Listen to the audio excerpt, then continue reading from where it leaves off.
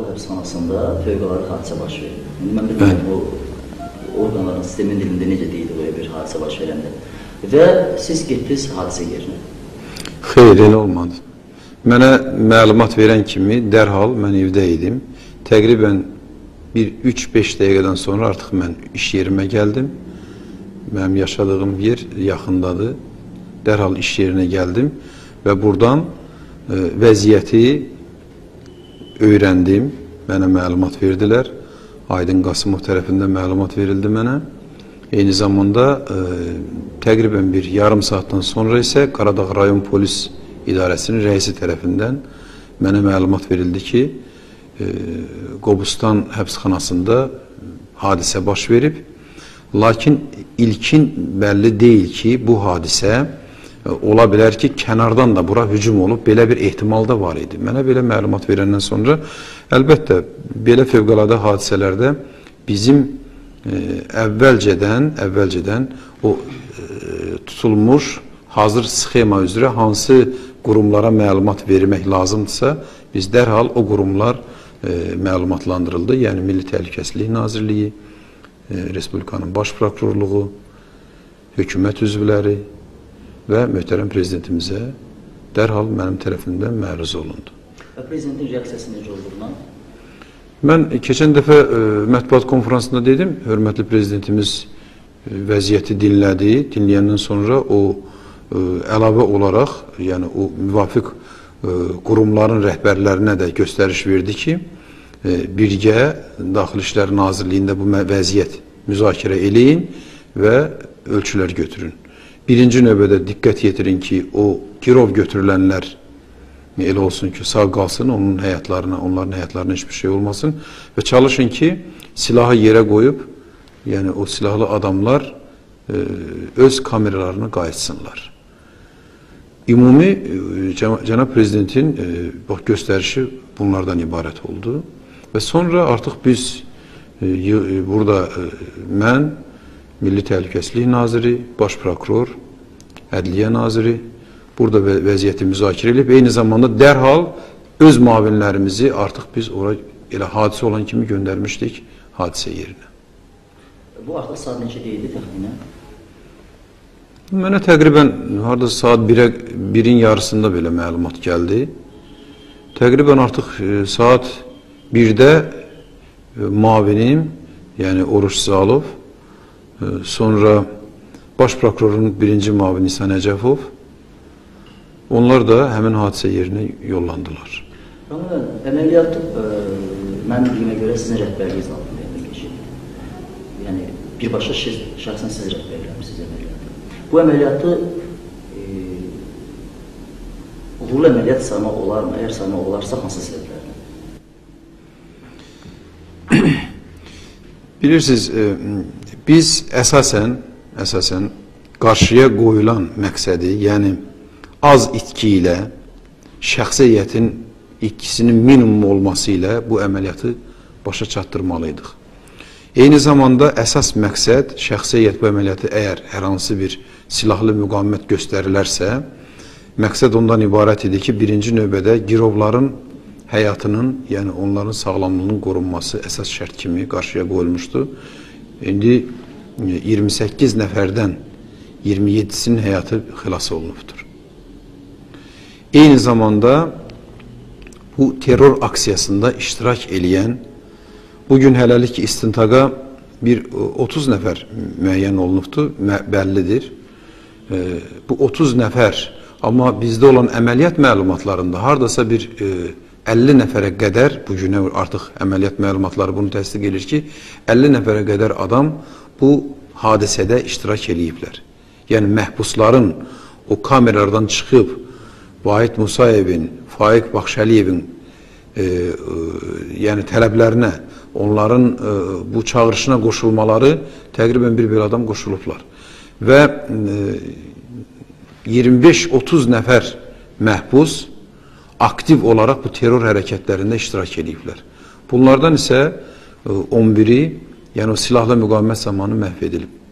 Beləliklə, e, mənim tərəfimdən e, o qarşıya qoyulan devlətin, devlətçiliyin müdafiəsi, terrorçuların zərərsizləşdirilməsi, girovların azad edilməsi tapşırığı e, mən hesab edirəm ki, bu əməliyyatı birbaşa həyata keçirənlər tərəfindən uğurla yerinə yetirilib və təsadüfi deyil ki, bu əməliyyatda daha çox fərqlənənlərin e, bir qismi möhtərəm prezidentimiz tərəfindən mükafatlandırılıb.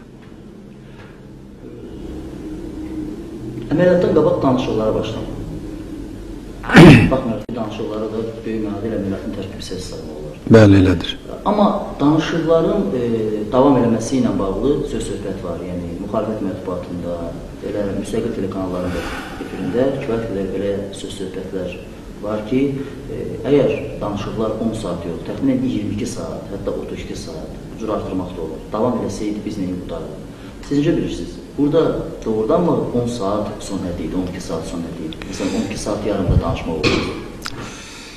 Bunu əlbəttə kənardan belə görünür. Lakin e, o adamlar ki, indi biz bu məsələni dəqiq bilirik ki, ilk andan ki, artıq bu terrorçular e, bizim orada 28 nəfər e, o həbsxananın işçilərini ki, girov götürmüşdülər. Onlar qətiyyətlə tələb qoyurdular ki, siz dərhal tezliklə bizə koridor verin. Və əgər tez bu koridoru verməsəniz, həmin adamlar güllələnəcək, məhv ediləcək. Biz çox bir e, belə narahatçılıq keçirdirdik ki, vaxt uzandıqca onların, yəni girov götürülənlərin həyatına qəst təhlükəsi getdikcə artırdı. Ona görə də biz çalışdıq ki, imkan qədər bu e, vaxtı uzadaq. Lakin vaxt uzadıldıqca İçəridən gələn məlumatlar onu göstərirdi ki, artıq e, girovların həyatına o qəsd daha da reallaşır. Onlara işgəncələr verirlər, əziyyətlər verirlər və ölümlə hədəliyirlər. Avtomatı on, onlara tuşlayıb, e, öl, ö, ö, yəni onları öldürməklə hədəliyirlər. Belə olan halda, belə olan halda bunu 2-3 gün uzatmaq ola bilərdi ki, girovların ölümü ilə bu iş nəticələnsin. Ona görə də onların tələbi elə idi ki, dərhal koridor verilsin və bu dərhal koridor verilməyi, onlara yol verilməyi müəyyən dərəcədə biz uzat vaxt udmaq istəyirdik, çalışırdıq ki, biz vaxt udaq. Onlar isə buna dözmürdülər. Əksinə, vaxtın uzadılması onlara görünür ki, o qədər də əl vermirdi. Və onlar necə olur olsun, hava o qaranlıq, yəni günüz e, işıqlaşana qədər bu oradan çıxmağa cəhd göstərirdilər. Ona görə də burada e, bu məsələyə e, indi artıq istintaq gedir və istintaq nəticəsində daha da aydınlıq gətiriləcək. Amma bu gün artıq onu demək olar ki, bu əməliyyatın da belə o uzadılmamasının əsas o səbəbkarı mı deyim, günahkarı mı deyim, həmin o terrorçular olubdur. İçəridən gələn xəbərlərə görə dedir. İçəridən xəbərləri sizə kim gətirir? İçəridən xəbərləri e, bu müxtəlif yollarla biz bu məlumatları alırdıq. Bunlardan e, əsasını o e, danışıqlar zamanı, danışıqlar zamanı e, etdiyimiz məntiqi o danış o tərəfdən olan və bizim tərəfimizdən olan danışıqlar zamanı onların dedikləri təkliflər, verdikləri dedikləri fikirlər, sözlər.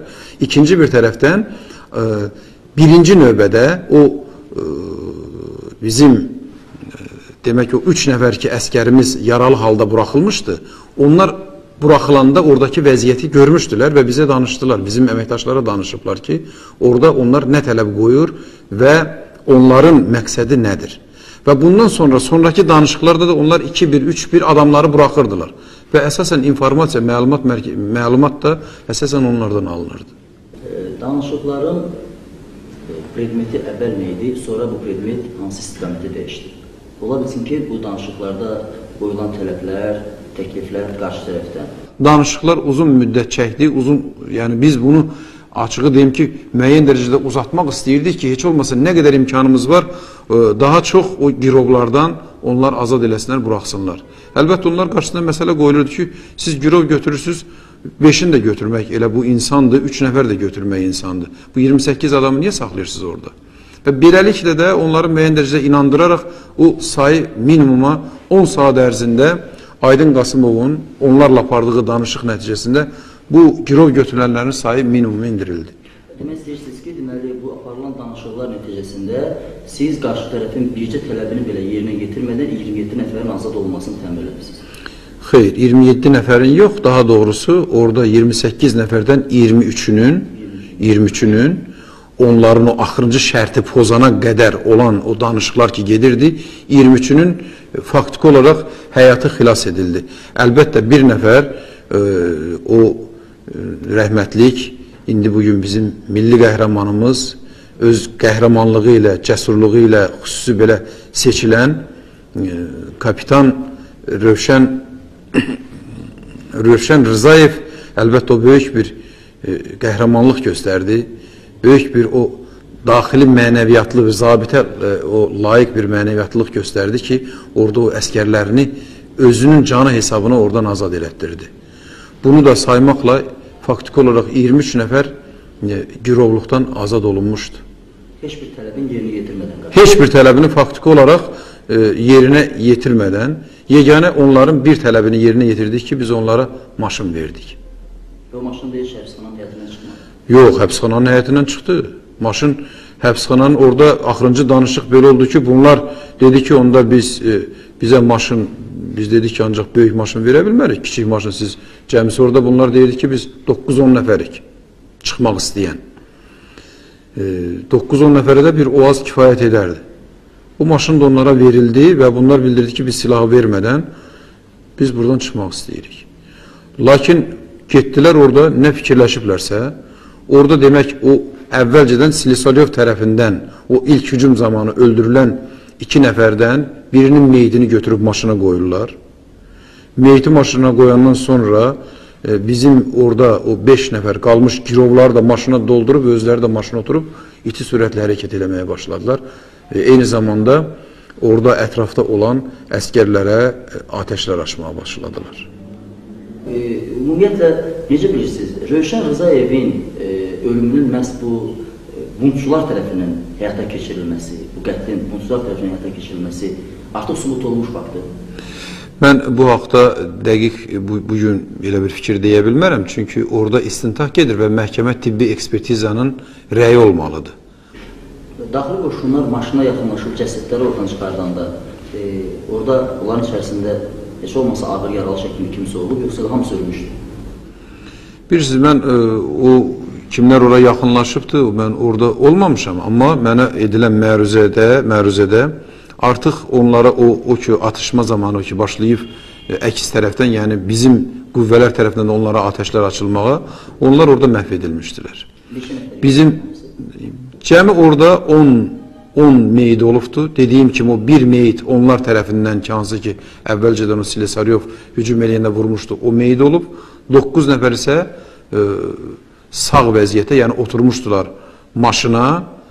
Artıq o kardonu yarıb keçmək istəyəndə onlar atəşlər açanda əks bizim tərəfimizdən, bizim əmə əməliyyat qrupu tərəfindən açılan atəşlər nəticəsində onlar məhv edilibdir. 9 nəfər ölübdür. Əməliyyatın keçirilməsində iştirak edən əskərlərin döyüş göstəriciləri, professional göstəriciləri bir nazir kimi sizi qane elədim. Ümumən bəli.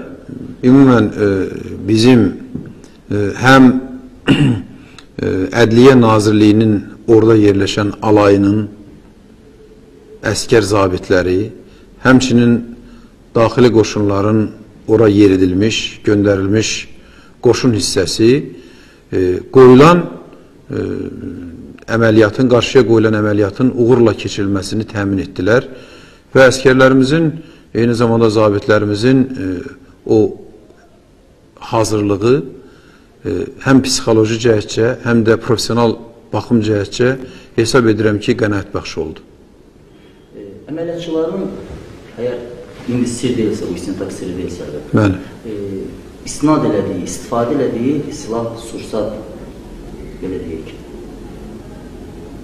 kəmiyyəti ilə qarşı tərəfin istifadə elədiyi silah, sursat kəmiyyəti arasındakı fərq böyükdür.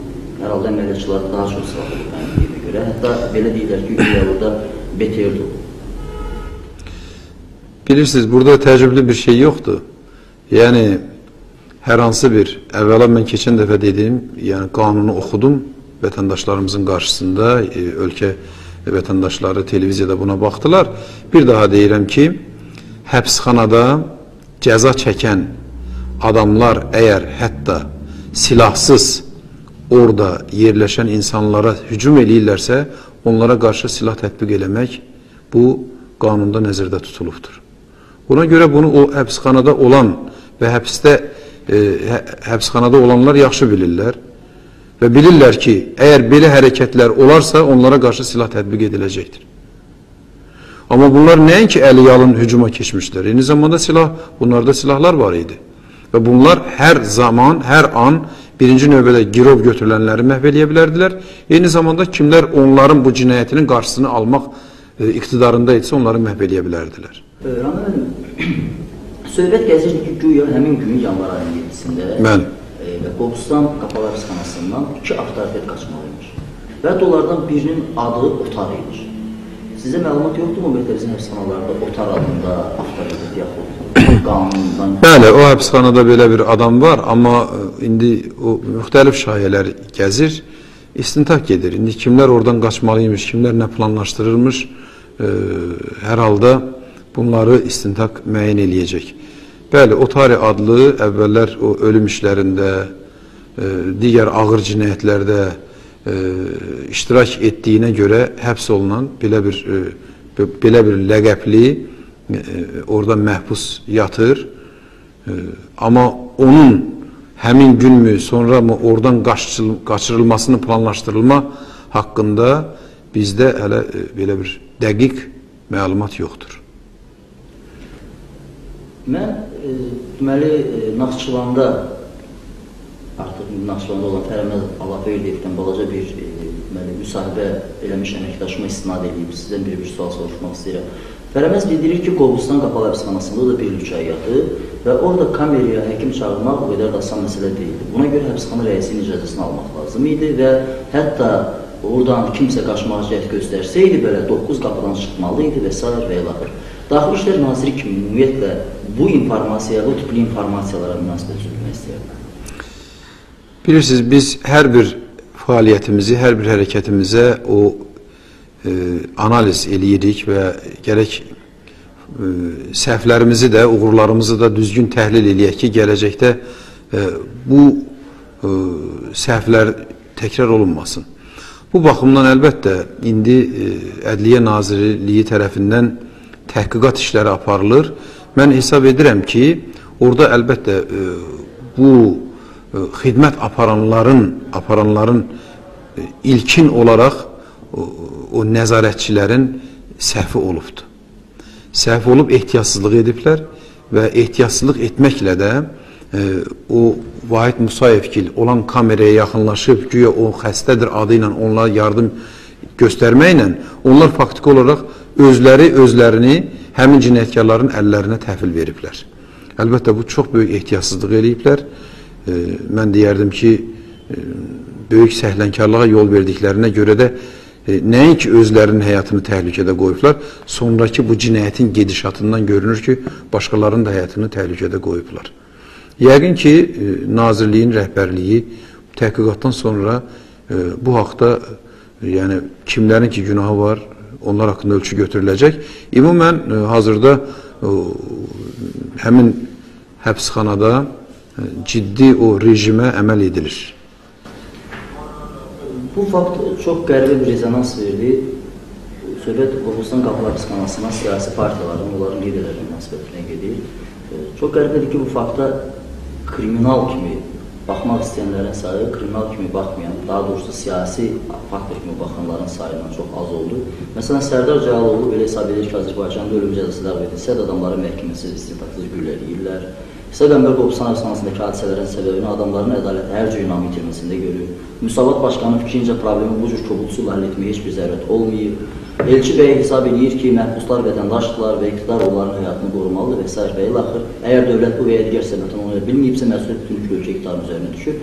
Yəni bu siyasi partiyaların bu mövzuda həddən artıq belə fəal şəkildə münasibət bildirməsi, Daxili İşlər Nazirini bu və ya digər dərəcədə e, siyasətə çəkmək və bəlkə də siyasətdə artıq Daxili İşlər Nazirinin iştirakını təsdiqləmək məqsədi görmür. Belə məqsədlər güdülür. Lakin e, söhbət bir Daxili İşlər Nazirindən getmir. Ümumiyyətlə bugünkü iqtidarın hər bir uğurunu onlar qısqanclıqla qarşılayıblar, qarşılayırlar və eyni zamanda e, aparılan möhtərəm prezidentimizin başçılığı ilə aparılan bu son 5 ildə işlərə həmişə kölgə salmağa hər vəclə istəyiblər ki, nail olsunlar. Elə bu hadisələr də e, təəssüf ki, belə bir hadisə baş verib. İnsan, insanlar ölüb. Bundan da öz o siyasi məqsədləri üçün yenə də bax, adlarını çəkdikləriniz və çəkmədikləriniz bundan da özlərinin o siyasi məqsədlər üçün, siyasi xal qazanmaq üçün istifadə eləmək, eləmək istəyirlər. Lakin mən hesab edirəm ki, bu hərəkətlər, bu mülahizələr, bunların belə fikirləri, ictimaiyyəti çaşbaş salmaq e, cəhdləri əbəsdir və uğursuzluqla nəticələnər. Özdə bu adamlar e, hakimiyyətə gəlmək uğrunda mübarizə aparırlar güya. Bunlar hakimiyyəti əgər bu cür təsəvvür eləyirlərsə, əgər bunlar gələcəkdə necə deyim, hakimiyyəti təsəvvür edirlərsə ki, hakimiyyət gərək cinayətkarlara qarşı heç bir tədbir görməsin, bunların qarşısında təslim olsun, onda Azərbaycan xalqı kim belə adamlara etibar eləyər, etimad eləyər.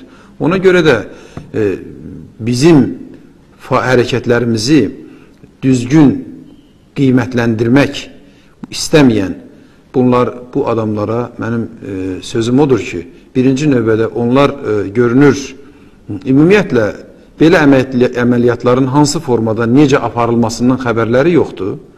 İkincisi də ki, əgər hətta az xəbərləri varsa da qəsdən bu hərəkətlərə, yəni bu fəaliyyətə, bu cinayət işlərinə e, başqa don geydirməklə, yəni bu cinayətkarların fəaliyyətinə güya qiyamdır, buntdur, e, iqtidarın apardığı siyasətə bir ehtiraz aksiyası, aksiyasıdır deməklə bunlar ictimaiyyəti çaşbaş salmaq istəyirlər.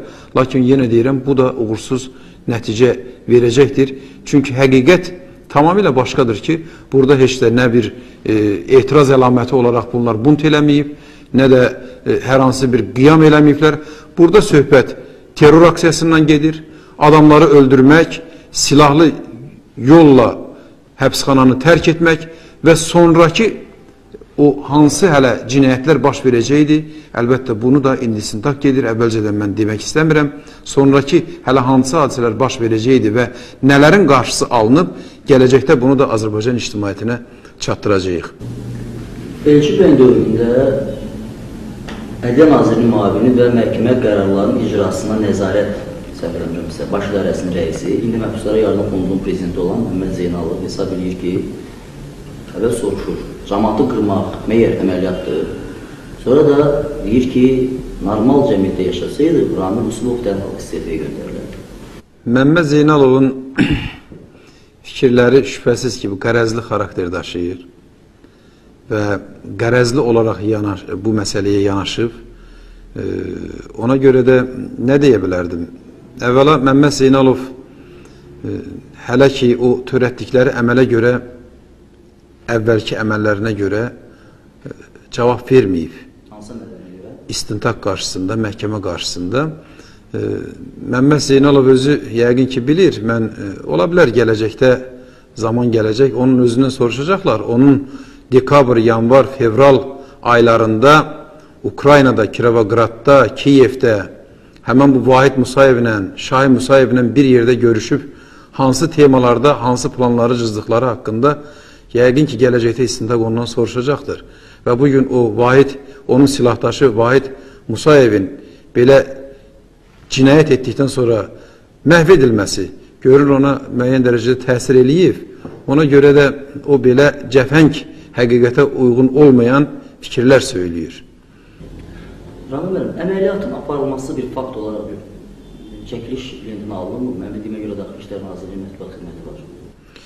Bilirsiniz, əməliyyatın başdan ayağa necə çəkilib, necə gedibdi bu çəkilmə haqqında bizdə elə bir ə, e, çəkiliş getməyibdi. Ola bilər ki, müəyyən bir foto şəkil çəkilibdi, amma bunun istintaq əhəmiyyəti olan şeylər olsa biz istintaqa təqdim eləyəcəyik. Bu sualın sizə daxili işlər naziri yox, əməliyyatçı kimi. Hadisələri işində olan bir adam kimidir. Qarşı tərəfin döyüşmək qabiliyyətini necə qiymətləndirirsiniz? Necə Bilirsiniz, e, döyüş orada qarşı tərəfin döy döyüşməyini o, mən belə qiymətləndirirəm ki, onlar e, canlarından, həyatlarından elə bil ki, keçmiş, bezmiş adamlar kimi döyüşürdülər. Yəni ağıllı üstündə olan adam bilərək ki, bu qədər burada, yəni devlətin qüvvələri ola-ola onlara atəş açmaq bəri başdan özünü ölümə vermək kimi bir şeydir. Belə qiymətləndirir.